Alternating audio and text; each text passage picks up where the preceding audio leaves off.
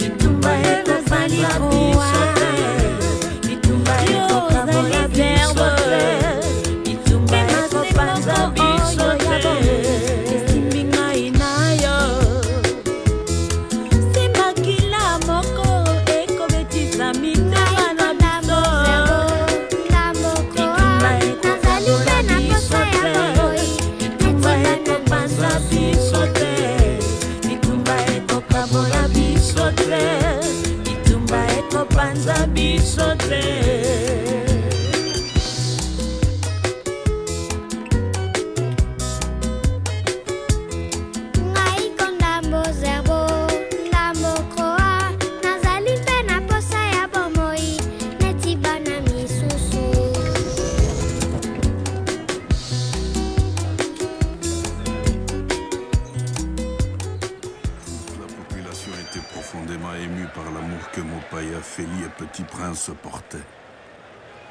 C'est en dévoilant cet amour que Féli jetait enfin les bases de la réconciliation.